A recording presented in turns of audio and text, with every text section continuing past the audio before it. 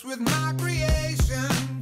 Yeah, I felt the power beyond imagination. If you could roll the dice.